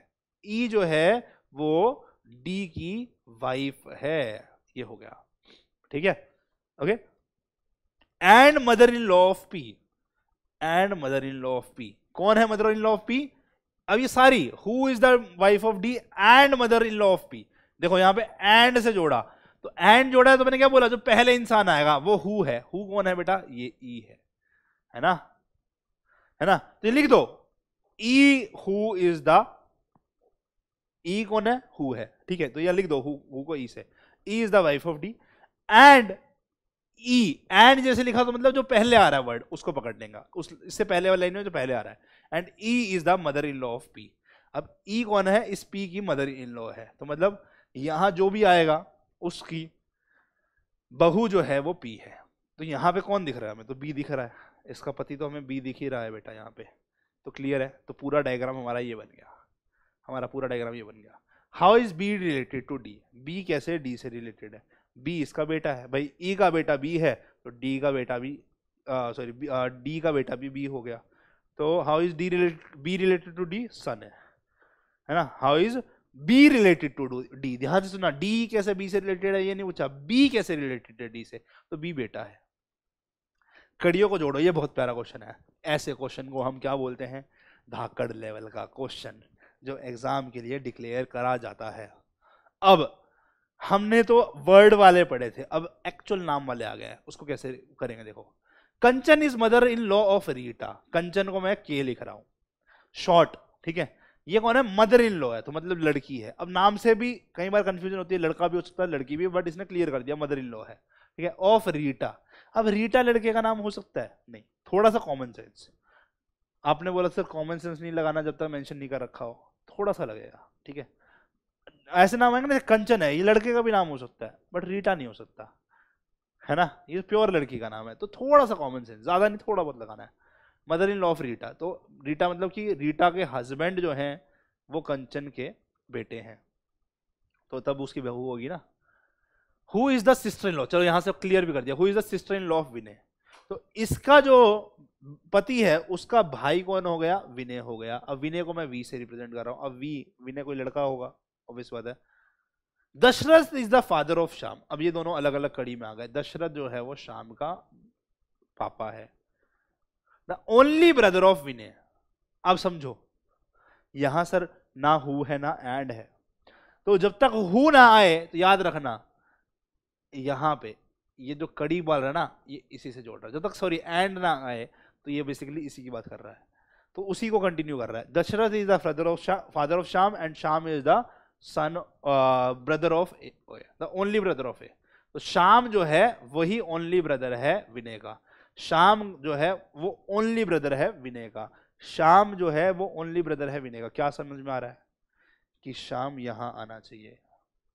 भाई, यहाँ एक लड़का आने वाला था, क्योंकि ये लड़की है रीटा कॉमन सेंस से समझ में आ गया था, है ना? बोला ना कॉमन सेंस थोड़ा बहुत लगाना पड़ेगा। कॉमन सेंस से समझ में आ गया था रीटा लड़की है, और यहाँ भी क्लियर कर ही दिया वैसे इसने। अगर कॉमन सेंस लग रहा है, नहीं लगानी चाहते तो अब यहाँ से तो पकड़ सकते थे कि हाँ सिस्टर इन लॉ ही होने वाली है। ये विनय बोल दिया था ब्रदर इन लॉ है तो ये लड़का ही है, और ये बीच में जो आएगा, उसका भाई होने वाला है। और बोला, इसका इकलौता भाई है। इकलौता भाई है तो मतलब यही इंसान होगा। तो वो कौन बोल रखा है? शाम बोल रखा है। और शाम के पापा दशरथ बोल रखे हैं। तो मतलब ये कंचन, उसकी मदर है, उसके दशरथ पापा हो गए। तो how is Kanchan related to Sham? Kanchan Sham की मदर है। Kanchan is the mother of Sham है ना बढ़िया क्वेश्चन यस सर ऐसे क्वेश्चन एग्ज़ाम में आते हैं। ये हमारे धाकड़ लेवल के क्वेश्चन है। ठीक है भाई? ये हमारा पहला टाइप ऑफ़ क्वेश्चन होता है कंप्लीट कंप्लीट ओके अब हम बढ़ते हैं दूसरे टाइप के क्वेश्चन की। That will be based on some conversation और डायलॉग इसमें क्या होगा? ऐसा लाइन लिखा हुआ आएगा स्टार्टिंग के अंदर में, जिसको हम रेफरेंस के तौर पे यूज़ करेंगे। रीटा सेड टू शाम मतलब लोग बातें कर रहे हैं कि फलानी फलानी बात, कि कि उसके बेटे की नाना की दादी की बच्चा कौन है बता। तो ऐसे क्वेश्चन आएँगे। रीटा शेट टू श्याम एक लाइन बोलेगी रीटा, ठीक है? आपको उस लाइन का आंसर बताना होगा कि भाई, अभी इस लाइन में शाम और रीटा कैसे रिलेट करते हैं, या फिर कोई भी दो रिलेशन बोल देगा, कैसे रिलेट करते हैं। ये हो सकता है क्वेश्चन इसको बोलते हैं हम कन्वर्सेशन बिटवीन टू पीपल या फिर एक ऐसा आएगा, कंचन सो अ फोटोग्राफ। ठीक है, फोटोग्राफ कंचन ने देखी और कंचन ने फोटोग्राफ देखकर ये बोला, ऐसी लाइनें आएँगी। उसको कैसे सॉल्व करना है ये भी हम बताएँगे। ठीक है जी क्वेश्चन की हेल्प से मैं आपको सीधा सीधा बताता रहूँगा कि कैसे है। देखो, जैसे ये आ गया अपना dialogue based pointing to a photograph Amar said तो मतलब अमर ने किससे बात नहीं करी वो अपने आप बोला कि जो ये दिख रहा है ना ये कौन है? I have no brother or sister but that's man father is my father only son तो ये बेसिकली एक लाइन से रिप्रेजेंट कर रहा है। हाँ जी। तो क्या कह रहा है इस क्वेश्चन के अंदर में? देखो, ध्यान से देखना। कह रहा है कि I have no brother or sister but the man's father is my father son ये कौन बोल रहा है? ये हमारा अमर बोल रहा है। तो कैसे करना है? क्वेश्चन को अप्रोच कैसे करना बड़ा इंपॉर्टेंट है, ध्यान रखना। अब जो बोल रहा है कि भाई ये फ़ोटो है किसी इंसान की होगी या लड़का या लड़की, ठीक है, अमर बोल रहा है। ऐसे अपने दिमाग में एक पिक्चर बनानी है कि यहाँ कोई फ़ोटो है, अमर बोल रहा है। फिर I have no brother or sister but the man's father is my father's only son सबसे पहला वर्ड ढूंढेंगे, कौन आप कहाँ पर आ रहे हो? मतलब माई यहाँ पे क्या रिप्रेजेंट कर रहा है? अमर। बोल कौन रहा है? अमर। तो अमर कहाँ पर आ रहा है, उसको ढूंढेंगे। उसके आगे की बात ले जाएँगे। जैसे बाकी जगह कर रहे हैं भाई ठीक है? माई फादर्स सन मेरे पापा का बेटा, लड़का खुद ये भी तो हो सकता है। अब इसका भाई भी हो सकता है बट जैसे पढ़ रहे थे ना लाइन, हमने एक लाइन पढ़ी I have no brother or sister इस लाइन का मतलब क्या बड़ा ध्यान से सुनना। I have no brother or sister आपका कोई भाई बहन नहीं है मतलब सगा भाई बहन नहीं है तो आप अपने माँ बाप के इकलौते हो। तो मतलब अमर अपने माँ बाप का इकलौता है। लाइन का मतलब क्या है? You are only child to your parents इस लाइन का मतलब ये आ रहा है। ठीक है भाई? ठीक है भाई? तो पहली लाइन क्लियर होगी यहाँ से। तो अमर ही है जो इस लाइन में बोल रहा है। माई फादर सन कौन है? अमर खुद। अमर खुद। तो क्या बोल रहा है? That's man father is Amar. कौन? जो फ़ोटो में है, वो आदमी है। है ना? फ़ोटो को पॉइंट कर रहा है ना? दैट मैन ये फ़ोटो जिसकी देख रहा हूँ इसका आ, पापा अमर है। इस मैन का पापा अमर है। तो मैन कौन है? अमर का बेटा हो गया। मैन कौन है? अमर का बेटा हो गया। अमर लड़का है क्योंकि पापा बोल दिया और मैन जो है वो ये है। हुज फोटोग्राफ वॉज़ इट ये फोटोग्राफ किसकी थी? साफ़ साफ़ दिख रहा है अमन के बेटे की थी। अमन के बेटे की थी है ना? मैन की थी ना? और मैन कौन है? अमन का बेटा, अमर का बेटा। Yes next question looking at the portrait of a man Ashok said his mother is the wife of my father son his mother is the wife of my father son brother and sister I have none again ये line जैसे ही पढ़ी मतलब अकेला माँ बाप का बेटा है ओनली चाइल्ड इसको लिख देने का, ताकि क्लियर रहे। जो भी इंफॉर्मेशन मिलती जा रही है, उसको फटाफट लिख लो, ताकि क्लियर रहे माइंड में कि क्या बोलने की कोशिश कर रहा है। ठीक है? So at whose portrait was Ashok लिखे शुरू करने से पहले, शुरू करने से पहले क्वेश्चन पहले क्वेश्चन में क्या पूछा है? वो पढ़ना है। At whose portrait was Ashok looking portrait यहाँ है, यहाँ पे किसको देख रहा है? इसके बारे में बात हो रही है। अशोक देख रहा है। लाइन ने भी अशोक ने बोली है, ये क्लियर है। ठीक है ना? His mother is the wife of my father son my word यहाँ आ रहा है। तो माई कौन है? जो लाइन है, बोल रहा है अशोक इसके पापा का बेटा, इसका अकेला बच्चा है ये तो अशोक खुद हो गया। सेम क्वेश्चन है ये। अब बट लाइन स्टार्टिंग वाली चेंज हो गई। His mother is the wife of my father son my father son कौन हो गया? मेरे बाप का बेटा। तो ये अशोक हो गया। है ना? तो his mother is the wife of Ashok. अब क्या करेंगे? जैसे यहाँ पे पता चल गया, उल्टा जाना शुरू करो। ठीक है? जैसे पता चल गया, क्या करेंगे हमने? क्या बोला हर क्वेश्चन में ही उल्टा जाना शुरू करेंगे। अभी सिखाया था, वही करना है। वाइफ ऑफ़ अशोक अशोक की वाइफ ठीक है? मदर हिज मदर जो दिख रहा है यहाँ पर, उसकी mother is the wife of Ashok इसकी, ये कौन है? मदर है, जो दिख रहा है, जिसका पोर्ट्रेट दिख रहा है. पोर्ट्रेट कौन, किसका दिख रहा है? इसके बेटे का. पोर्ट्रेट किसका दिख रहा है? हिज मदर है ना? कौन है वो? अशोक की वाइफ इसका बेटा. तो अशोक का सन हो गया. है ना? इसको गलती से हमने इससे जोड़ दिया डबल डंडे से जोड़ना था। ठीक है? वाइफ ऑफ़ अशोक कौन है? वाइफ ऑफ़ अशोक कौन है? मदर है इसकी। ठीक है?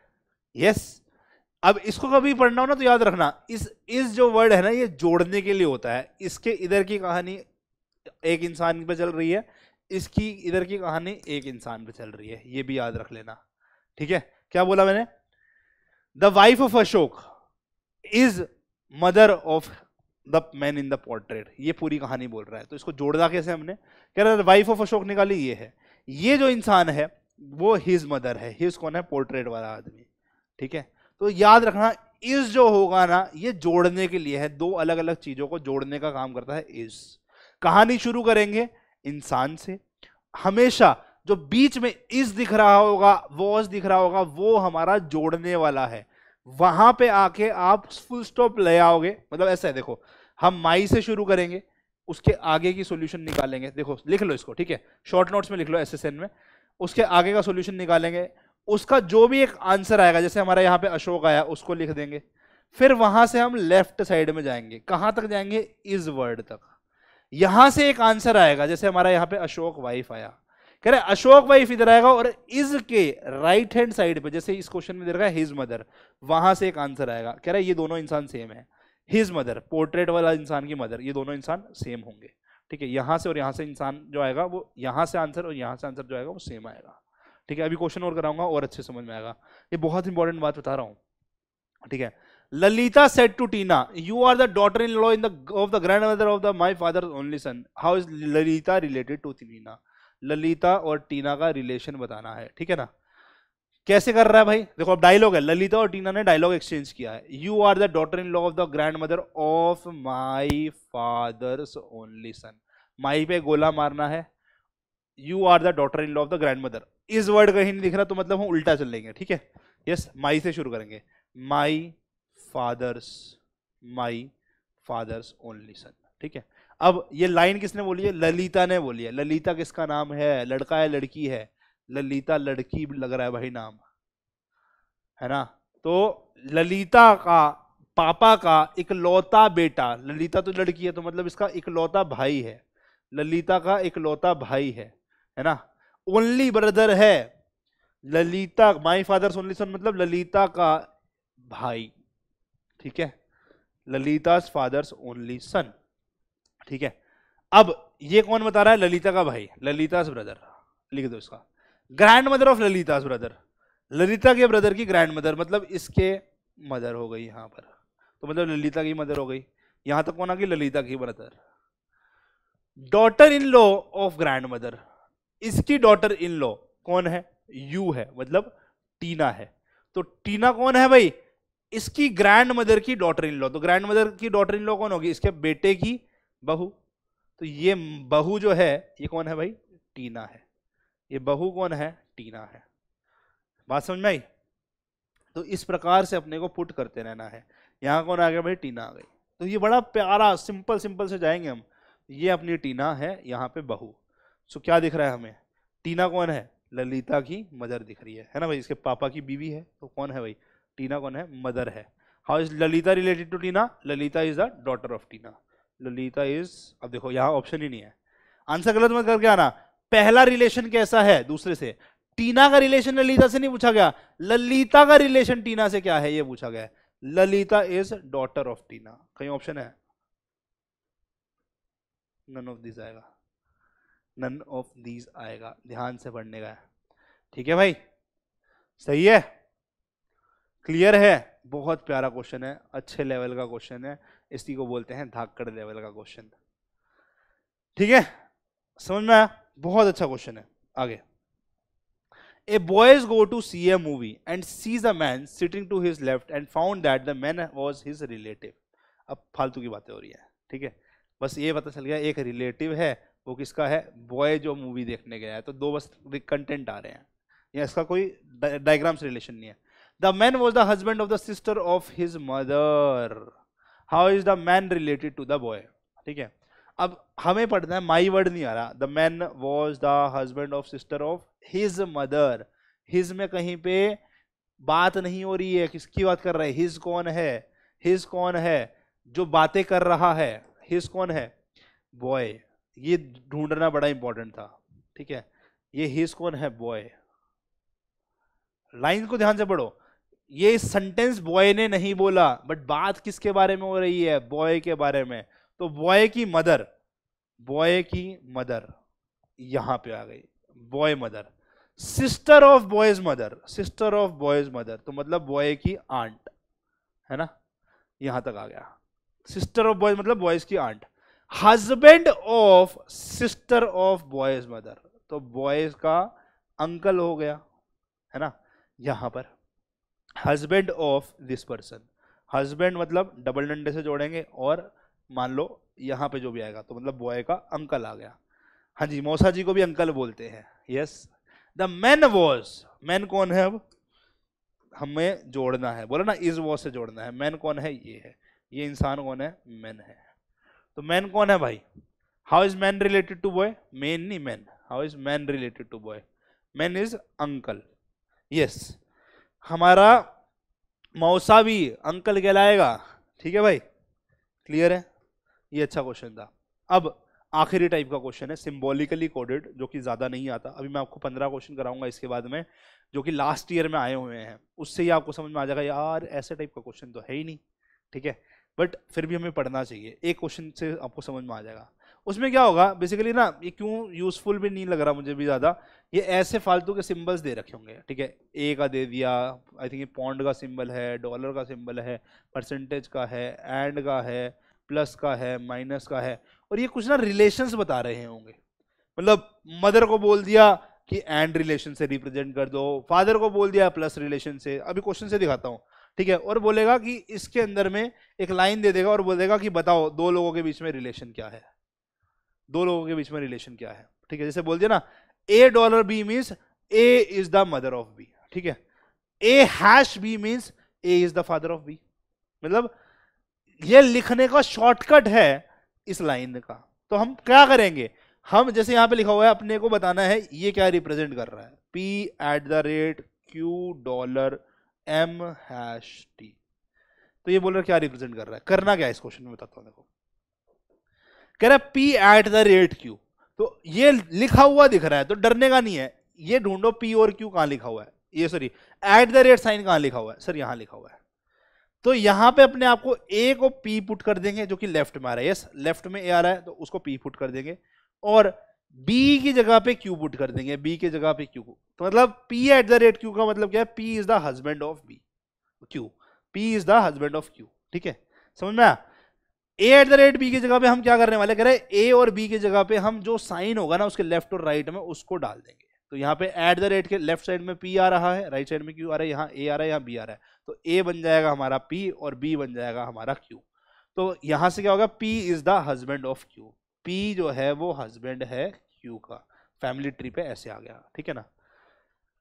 क्यू डॉलर बी तो मतलब dollar M Q dollar M Q dollar M dollar sign ये रहा। तो यहाँ पे बेसिकली क्यू है और यहाँ पे एम है यस तो ए की जगह पे क्यू है और बी की जगह पर एम है। Q is the mother of M Q जो है वो एम की मदर है. अब एम का जेंडर नहीं पता, याद रखना. एम का जेंडर नहीं पता.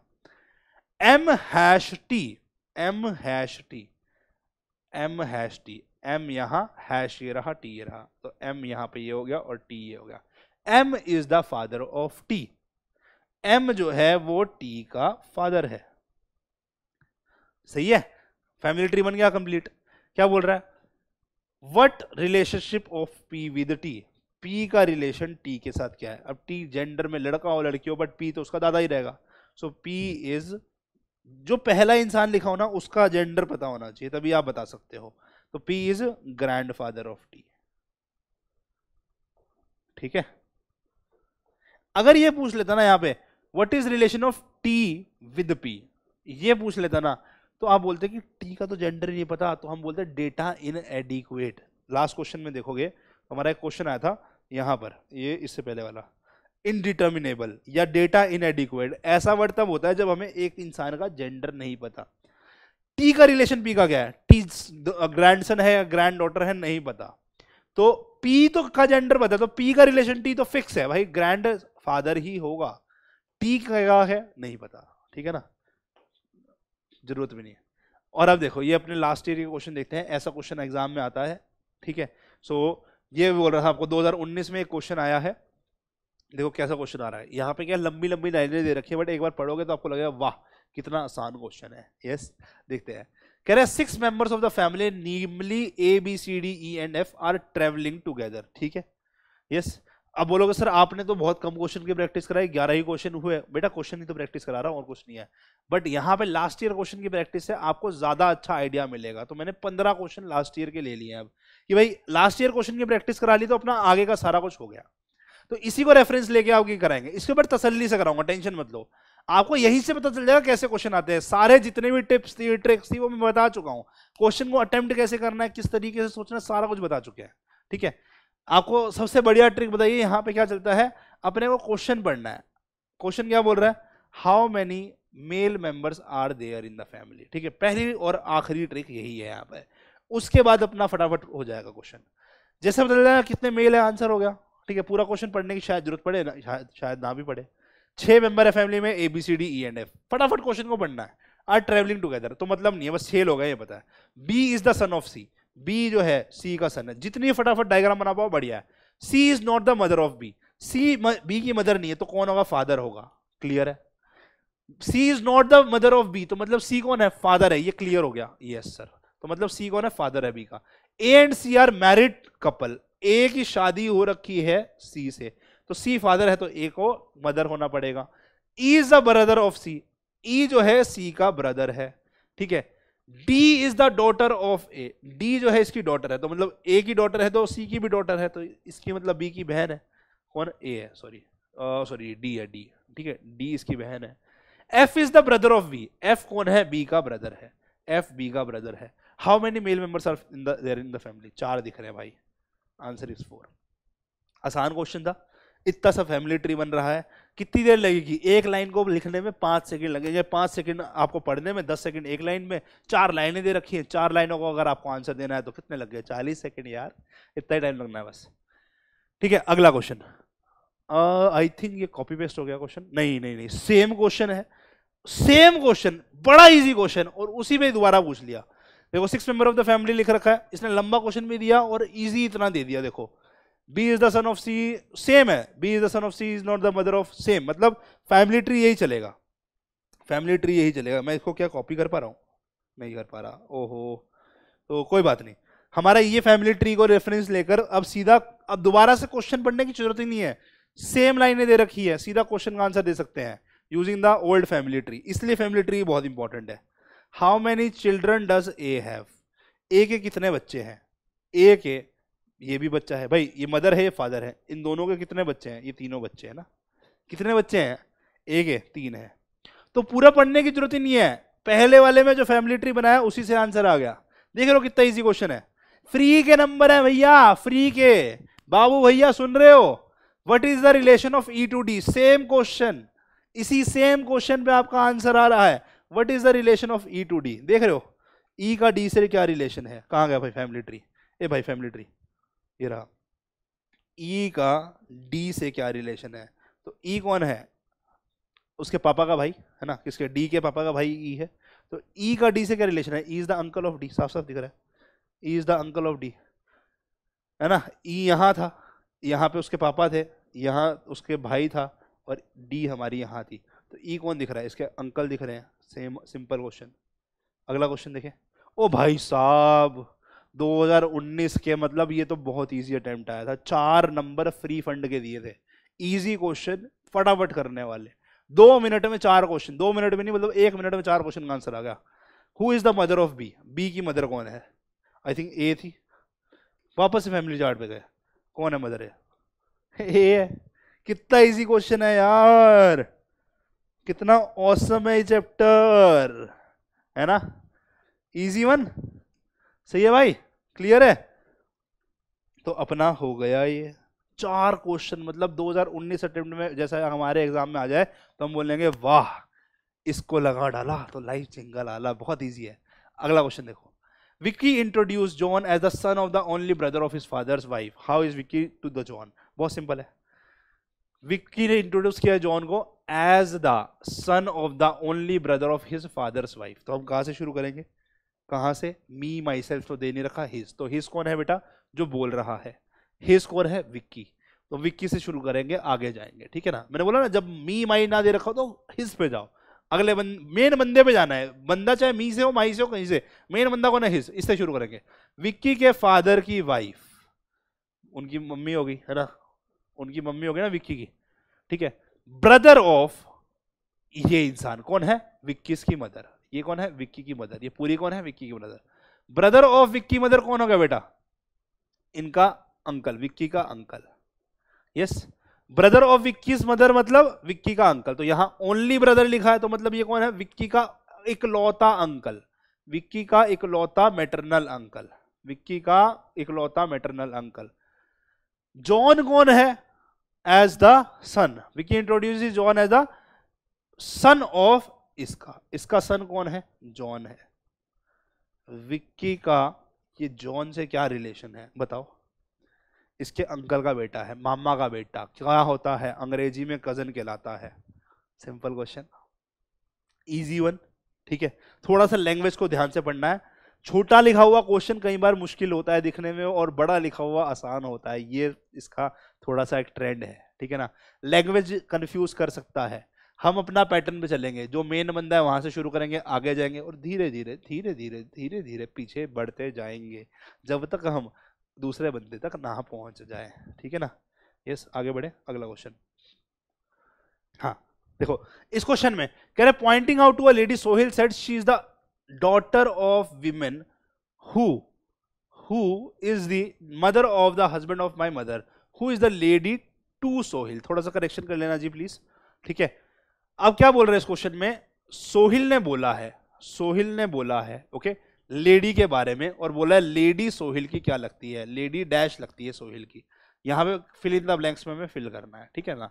यस क्वेश्चन में ये पूछा गया तो हम यहाँ से कहाँ से शुरू करेंगे? माई से, है ना माई? माई मदर, सोहिल की मदर। अब आगे खत्म हो गया तो हम उल्टा चलेंगे। तो ये क्या है? सोहिल की मदर है। हस्बैंड ऑफ़ सोहिल मदर उल्टा आना शुरू किया। हस्बैंड ऑफ़ सोहिल मदर मतलब सोहिल के फादर हो गए। तो यहाँ तक कहाँ गए हम? सोहिल के फादर तक।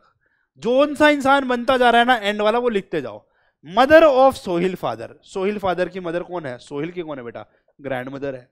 सोहिल की ग्रैंड मदर हो गई यहाँ पे।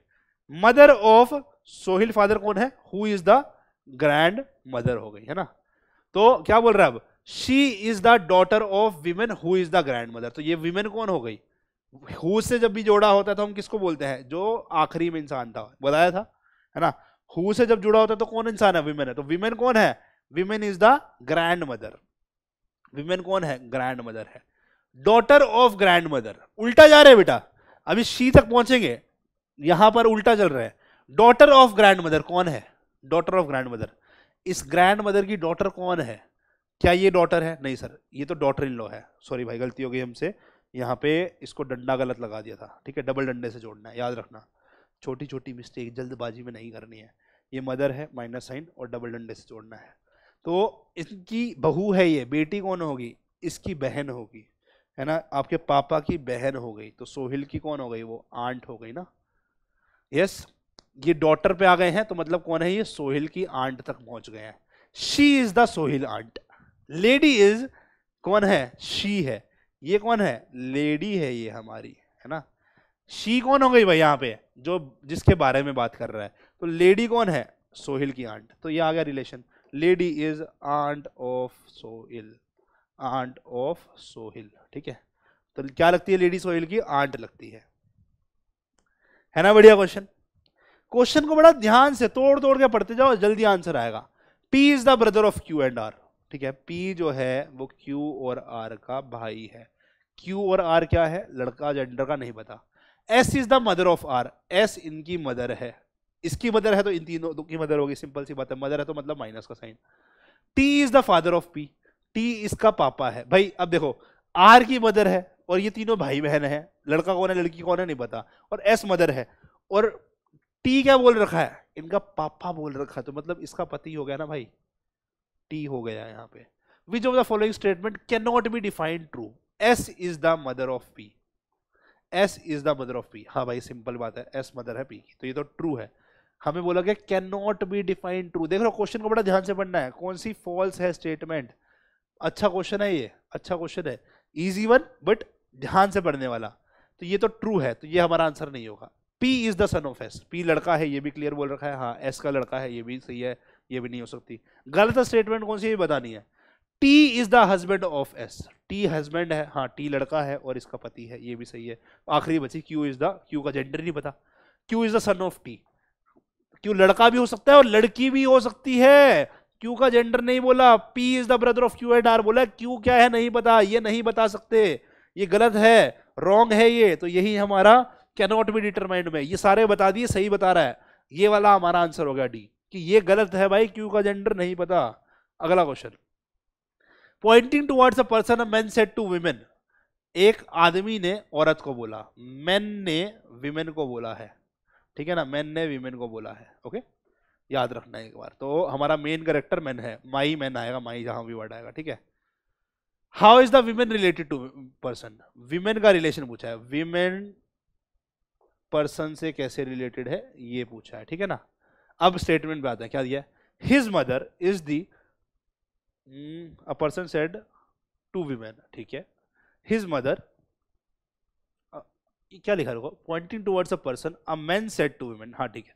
Okay sorry sorry sorry sorry sorry sorry ये क्वेश्चन बड़ा ध्यान से पढ़ने वाला था। ये लाइन बड़ी इंपॉर्टेंट थी। अ पर्सन तीन लोग हैं। एक पर्सन है, एक मैन है और एक विमेन है। हमसे पूछा गया क्या how women is related to person तो पर्सन का क्या रिलेशन है? बोलने वाला आदमी है विमेन से बात कर रहा है, बात पर्सन के बारे में कर रहा है। तो मतलब एक पर्सन है यहाँ पे पिक्चर बना लो। विमेन मैन है और एक विमेन है। बातें कौन कर रहे हैं? ये दोनों कर रहे हैं। ये दोनों बातें कर रहे हैं, ठीक है ना? ये बातें कर रहे हैं। ये साइन बना दिया मैंने बातें करने का, ऐसे कुछ अजीब सा, ठीक है? ये बातें कर रहे हैं ये लोग, है ना? ये बातें कर रहे हैं यहाँ पर। किसके बारे में? इस पर्सन के बारे में। क्या बातें कर रहे हैं? देखो हिज मदर किसकी मदर हिज कौन है? किसके बारे में बात हो रही है? पर्सन के। पर्सन की मदर ठीक है हिज कौन है यहाँ पे पर्सन है। Is the only daughter of your father man बोल रहा है वुमेन को। तो मेन करेक्टर कौन आ गया? मैन है ही नहीं अब इस पिक्चर में। मैन कह रहा है, मेरे बारे में नहीं, मैं तेरे बारे में बात कर रहा हूँ। बात किसके बारे में हो रही है? विमेन और पर्सन मेन करेक्टर कौन है? मैन नहीं है। मैन दूसरे के बारे में बात कर रहा है। विमेन और पर्सन तो पहले किसके बारे में बात कर रहा है? विमेन विमेन से बात कर रहा है ना? तो मेन करेक्टर जिससे बात कर रहा है वो बन गया। मैन पिक्चर में था नहीं। विमेन और पर्सन है। पर्सन से बात नहीं हो रही, बात विमेन से हो रही है। तो हमने बोला ना, जब फ़र्स्ट पर्सन गायब हो जाए फ़र्स्ट पर्सन जो बोल रहा है। सेकेंड पर्सन जिससे बोल रहा है। थर्ड पर्सन जिसके बारे में बोल रहा है। जब फ़र्स्ट पर्सन पिक्चर में ना हो, हम सेकंड से शुरू करेंगे। सेकंड कौन होता है? यू हिज हर ये रिप्रेजेंट कर रहा है। ठीक है ना? सॉरी यू योर ये रिप्रेजेंट करता है ये। हिज हर रिप्रेजेंट करता है थर्ड पर्सन। है ना भाई? ठीक है, ये तो अंग्रेज़ी भी पढ़ा हुआ है आपने।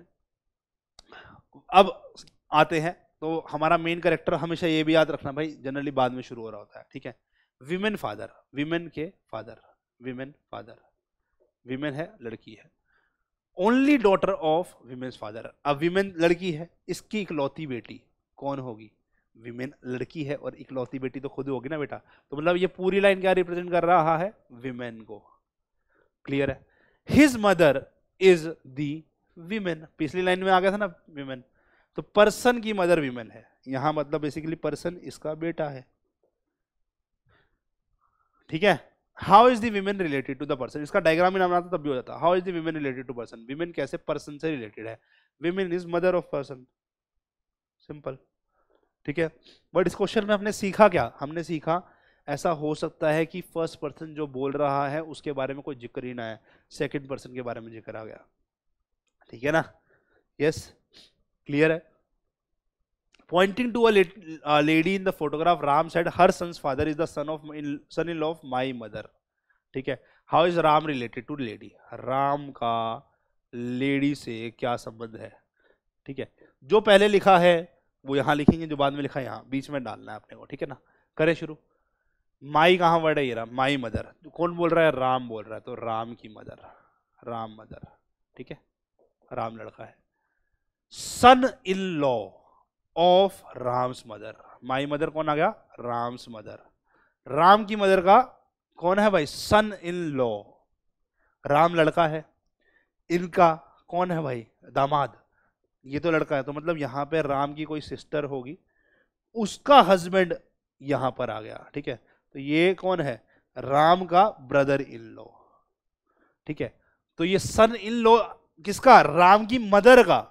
यहाँ पे राम का क्या लग जाएगा? ब्रदर इन लो इनका दामाद राम का कौन है? जीजा। तो ये कौन है? राम का ब्रदर इन लॉ है बेटा, ठीक है? हर सन्स फादर इससे जोड़ना है। मैंने क्या बोला? जैसे ही इस वर्ड आएगा तो हमारी यहाँ पे कहानी इस पे रुक गई है। अब इधर वाली कहानी को सिंप्लीफाई करो, किसकी? लेडी को। यहाँ पर हर सन्स फादर कैसे लिखेंगे? हर मतलब लेडी। ठीक है? लेडी का सन। ठीक है? मैंने क्या बोला था? इसके इधर वाले को अलग सिंप्लीफाई करना है। देखते हैं क्या बोल रहे हैं। ठीक है? लेडी का सन और इसका फादर मतलब लेडी का हस्बैंड हो गया। है ना भाई? ठीक है? ये लेडी का हस्बैंड जो है वो ये इंसान है, लेडी का हस्बैंड ये इंसान है। वो कौन है? राम का ब्रदर इन लॉ है। तो राम का ब्रदर इन लॉ कौन है? लेडी का हस्बैंड है। लेडी का हस्बैंड है। क्लियर है भाई? तो ये लेडी का हस्बैंड है तो राम की सिस्टर कौन होगी भाई? बताओ। कौन लग रहा है? भाई, अगर ये हस्बैंड है तो ये लेडी तो खुद हो गई ना। भाई, लेडी का हस्बैंड अगर राम का ब्रदर इन लॉ तो लेडी तो खुद होगी ना। तो राम और लेडी का क्या रिलेशन है? राम जो है ब्रदर है। लेडी का, या लेडी जो है, Ram is brother of lady, है ना? राम क्या है भाई? How is Ram related to the lady aunt cousin sister mother I think question में कुछ गड़बड़ है, या फिर ऑप्शन में कुछ गड़बड़ है। राम जो है वो ब्रदर आएगा, ठीक है ना? How is Ram related to lady पूछा है, ठीक है? मे बी लाइक ऑप्शन में कुछ गड़बड़ लिख दिया गलती से the answer will be brother या फिर क्वेश्चन ऐसा होना चाहिए था how is lady related to Ram? अगर लेडी का क्या रिलेशन है? ये पूछा होता तो लेडी कैसे रिलेटेड है भाई राम से? लेडी जो है वो सिस्टर है, ठीक है, फिर ये हो जाता। Okay read question very carefully बहुत प्यारा क्वेश्चन था। सिंपल जो छोटे क्वेश्चन होते हैं, वो कई बार बहुत कंफ्यूजिंग होते हैं। ये a girl introducing a boy as the son of as the son of the daughter of the father of her uncle the boy's girl's क्या है? बॉय गर्ल का क्या लगता है? ठीक है बॉय गर्ल का क्या लगता है? तो का, का, बोला क्या है? बॉय को कैसे इंट्रोड्यूस किया है? The son of the daughter of father of her uncle बोला किसने? अंकल लेडी ने बोला है। ठीक है ना? गर्ल ने बोला है। तो गर्ल के अंकल है। अब गर्ल के पापा या मम्मी होंगे यहाँ पे। उनके भाई अंकल है है ना? पापा भी हो सकते हैं मम्मी भी हो सकती है। अंकल बोला ना ये हो गया ठीक है? फादर ऑफ़ हर अंकल ये तो लेडी के अंकल पे आ गए। फादर ऑफ़ हर अंकल यहाँ पे। इसके पापा कौन होंगे? इसके पापा कौन होंगे? इसके मम्मी या पापा के भी पापा होंगे, है ना भाई? अगर आपके पापा के भाई के पापा कौन लगेंगे? आपके दादाजी। यस अगर आपकी मम्मी के पापा, या फिर मैं बोलूँ, आपकी मम्मी के भाई के पापा, एक ही इंसान हो ना? जो भी हो जाए, है तो ग्रैंड फादर ना, चाहे नाना जी हो, चाहे दादाजी। मैटरनल अंकल हुआ तो मैटरनल ग्रैंडफादर अगर पैटर्नल अंकल हुए तो पैटर्नल ग्रैंडफादर तो फादर ऑफ़ हर अंकल कौन है? ग्रैंडफादर है। फादर ऑफ़ अंकल कौन है? लड़की के ग्रैंडफादर है, ठीक है? Daughter of grandfather daughter of grandfather अच्छा मैंने आपको बताई थी ये बात क्लियर याद करो। मैंने बोला था, जब भी ऐसा लिखा हुआ मिलेगा तो मेन इंसान जो होगा ना, वो वो होगा। यस मैंने आपको कहीं बार स्टार्टिंग में जब मैं एक्सप्लेन कर रहा था, बोला था ना, जब भी ऐसी लाइनें आएँगी ना तो जो फिल करने वाला होगा ना, बीच में जो डायरेक्ट रिलेशन होगा गर्ल से, वो वो इंसान होगा। तो ग्रैंडफादर की डॉटर कौन होगी? यहाँ पे इसकी मदर निकल कर आएँगी। यस क्लियर है? The son of the daughter of grandfather the son of the daughter of grandfather तो डॉटर ऑफ़ ग्रैंडफादर कौन निकल कर आई है जी? मदर तो इस मदर का सन कौन है? इस गर्ल का जो है भाई। कौन है वो? बॉय बॉय को इंट्रोड्यूस किया है ना इसने? तो बॉय यहाँ आ गया। ठीक है? बॉय कौन है? सन है। तो सन कौन है? किसका? इस लड़की का, इस मदर का। तो बॉय यहाँ आ गया। गर्ल का भाई हो गया ये, ठीक है ना? So the boy's girl's brother the boy's girl's brother ठीक है? लाइनों को बड़ा तोड़ तोड़ के पढ़ना पड़ेगा भाई इसके अंदर में। एकदम एक एक चीज़ को। द सन ऑफ़ मदर किस मदर का? इस मदर का बेटा। कौन है भाई? लड़की का भाई हो गया। क्लियर है? आगे। Pointing to a lady Sahil said एक लेडी को पॉइंट करके साहिल ने क्या बोला? She is the daughter of the women who is the mother of the husband of my mother who is a lady to Sahil ठीक है? My mother कौन बोल रहा है? साहिल बोल रहा है। आई थिंक अभी क्वेश्चन किया है वाला हमने। साहिल की mother yes the husband of my mother तो मतलब यहाँ पे इसका साहिल का फादर हो गया। The mother of who is the हाँ ये किया है भाई। आप सॉल्व करके बताओ। ये क्वेश्चन मैंने कराया हुआ है। यू टेल द आंसर अभी कराया सिमिलर क्वेश्चन था। देख रहे हो मतलब बस आई थिंक नाम चेंज हो गया। वहाँ पे कुछ नाम अलग था, यहाँ नाम अलग है। वहाँ सोहिल था यहाँ साहिल है। ओके अलग अटेम्प्ट में दोबारा से सेम टाइप का क्वेश्चन डाल दिया। ये होता है। इसका आंसर हमें कमेंट में आप बताएँगे। सेम टाइप का क्वेश्चन एग्जैक्टली लाइन भी कॉपी पेस्ट डाल दी है। इसका आंसर आप बताएँगे। ये हमने बताया आपको भाई। अगला। Pointing towards A B said your mother is the younger sister of my mother बोला किसने? बी ने। बी कौन हो गया? माई हो गया। तो बी माई हो गया। बी की मदर बी की मदर ठीक है ना?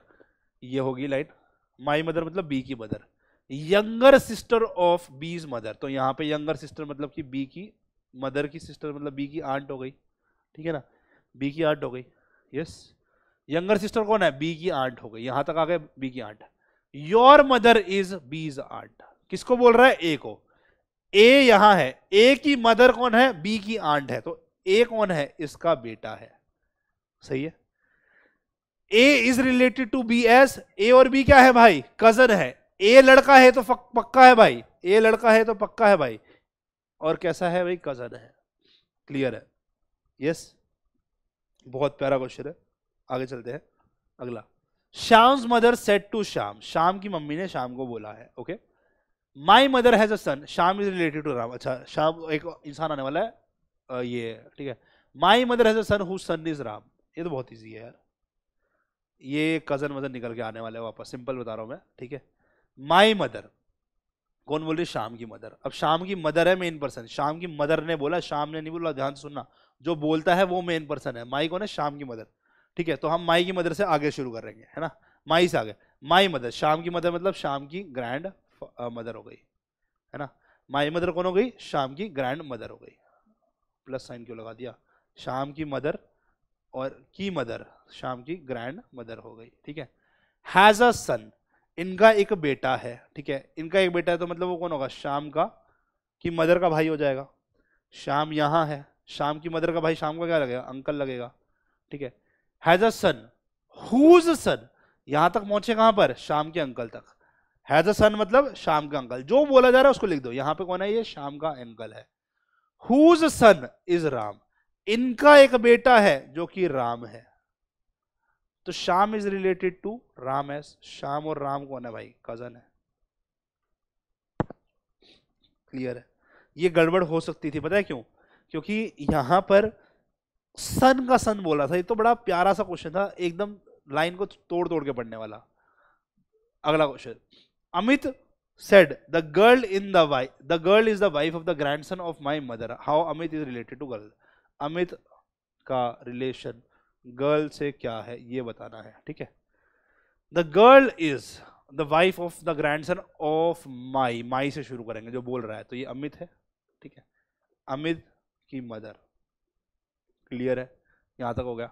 ग्रैंडसन ऑफ़ अमित मदर इनकी, इनका ग्रैंडसन तो मतलब अमित का बेटा, है ना?